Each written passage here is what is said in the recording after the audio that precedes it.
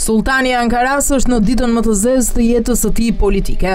Në prag të zgjedhjeve të përgjithshme që zhvillohen në maj, si për presidentin ashtu edhe për parlamentin, të gjitha sondazhet parashikojnë një humbje të sigurt për Recep Tayyip Erdogan. Madje këtë e bëjnë të ditur edhe institutet që i kanë shërbyer ndër vite AKP-së së Sulltanit.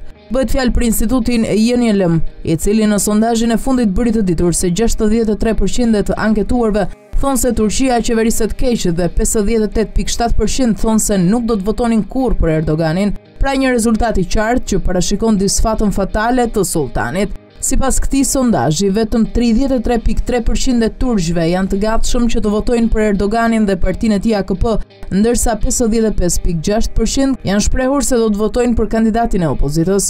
Kjo situatë ka krijuar një tërmet politik në Turqi.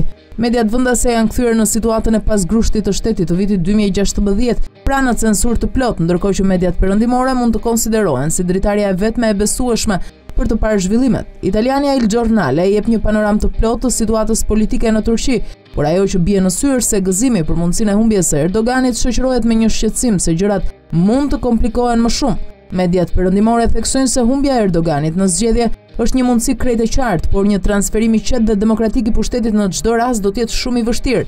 E sipas tyre skenarët që mund të ndodhin janë të paktën tre.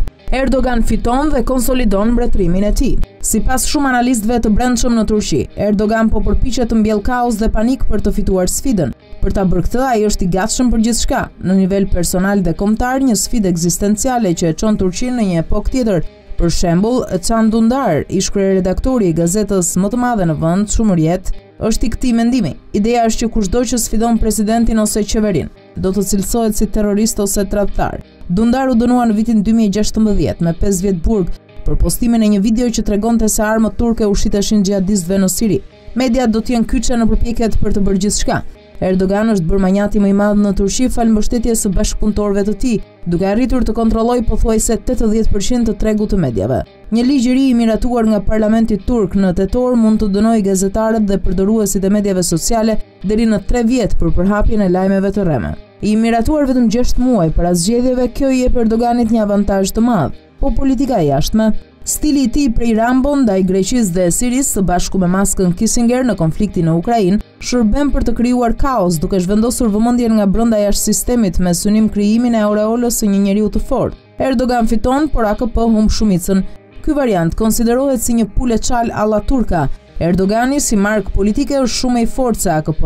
Në figurën e tij konsolidohet një projekt i ri për Turqinë, nga toka, nga deti, brenda dhe jashtë vendit. Nëse zgjedhjet do të mbaheshin nesër, AKP dhe MHP me shumë gjasa do të humbnin shumicën e tyre parlamentare, dhe mazhorancën do ta ketë opozita aktuale e qendrës së majtë. Kjo mund të sillte kaos, pasi sipas Kushtetutës, presidenti nuk do të jetë në gjendje të miratojë ligjet në parlament. Ai mund të përpiqet të qeverisë duke nxjerrë dekrete, por nuk do të ketë një ekuilibër të qëndrueshëm në planin afatgjatë dhe do të detyrohet të mbajë zgjedhje të reja. Duhet mbajtur mend një fakt, në qershor 2016, disa javë para fillimit të dhunës që tronditi vendin, AKP kishte humbur shumicën e saj parlamentare për herë të parë që kur kishte ardhur në pushtet. Votimi çoi në një parlament të pezulluar. Erdogan kërkoi një kthim në votime. Pesë muaj më vonë, me ngritjen në qiell të ndjenjës nacionaliste, AKP-ja rifitoi shumicën ndërsa gjaku rridhte ende. Disa kanë frikë nga mundësia e një situate të tillë, e kompletuar me sulme të dhunshme në prag të zgjedhjeve të 2023-shit. Kjo rrezikon të zhvendosë vëmendjen e publikut nga ekonomia te terrori, duke shkaktuar kështu një reagim nacionalist që do të funksiononte në favor të Erdoganit. Megjithatë, duke pasur parasysh gjendjen e rëndë të ekonomisë turke, këto zhvillime mund të ndalojnë disi rënien e mbështetjes për presidentin, edhe pse nuk janë të mjaftueshme për të kompensuar ngritjen e opozitës. Në rast të një pule të çalë, sipas sistemit aktual, presidenti për të formuar një kabinet nuk ka nevojë për shumicën parlamentare. Nëse Erdogan fiton presidencën, ai mund të blejë deputetë nga partitë konservatore, që janë aktualisht pjesë e bllokut opozitar, pra mund të qeverisë sipas stilit përça e sundo. Por parashikohet që edhe në rast të fitores së opozitës, disa deputetë të AKP-së dhe MHP-së mund të vendosin të ndryshojnë anë, Në të dy skenarët, aritmetika parlamentare pritet të ndryshojë në periudhën pas-zgjedhore në varësi të asaj se kush e fiton presidencën. Erdogan humbet, po AKP-ja? Burak Begdil, një nga analistët kryesorë të Turqisë, ai u shkarkua pas njëzet e nëntë vjetësh nga gazeta Hürriyet për kritikat e tij të hapura ndaj presidentit, analizon se çfarë do të ndodhte nëse Erdogan do të humbiste zgjedhjet presidenciale me një diferencë të ngushtë dhe AKP dhe MHP humnin shumicën e tyre parlamentare. Nuk do të ishte vetëm fundi i epokës së Erdoganit, por fillimi i luftës civile që do të nxirrte inatin e besnikëve që do të bërtisnin për një komplot të huaj kundër turqve. Nga ana e saj, AKP ka miliona militantë në të gjithë vendin, të organizuar dhe me një lidhje të fortë me Sadat, një kompani turke që operon në sektorët e konsulencës dhe trajnimit ushtarak e themeluar nga ushtarakët në pension që janë të orientimit islamik pra besimtarë jo laikë. Sadat shpesh akuzohet për trajnimin e grupeve paraushtarake në Siri dhe Libi. Një skenar edhe më shqetësues për Erdoganin do të ishte ky, humbja e presidencës përballë një kandidati nga opozita e Millet Itifaki. Sipas sondazheve aktuale, presidenti turk pritet të humbasë në garën me të tre kandidatët potencialë të opozitës, pra Kemal Kiliçdaroglu, Ekrem Imamoglu dhe Mansur Yavash.